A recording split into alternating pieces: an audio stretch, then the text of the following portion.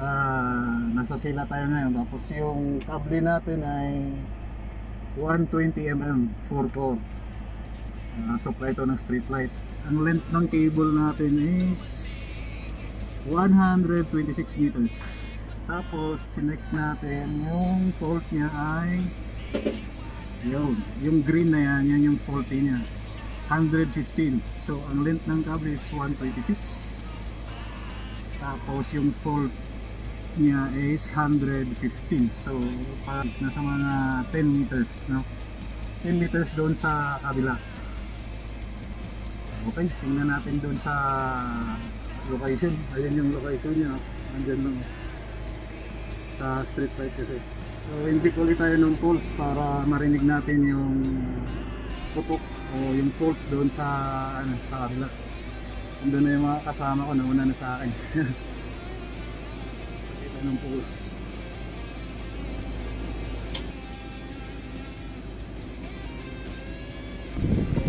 Tawag tayo sa highway yun. Ito yung international road papuntang ano, Saudi. Yan yung papuntang Saudi dyan. Supply kasi ito na ano, street light.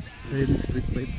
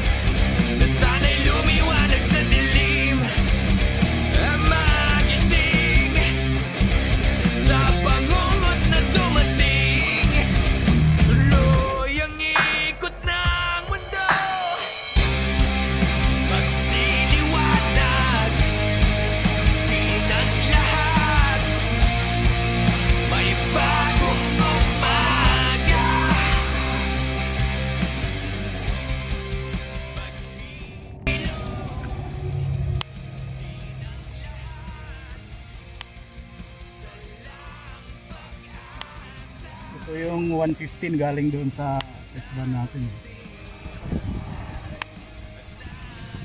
Ayan yung test ban natin.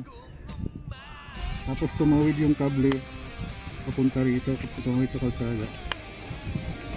Supply dito sa CCB. Ah, control ng street light.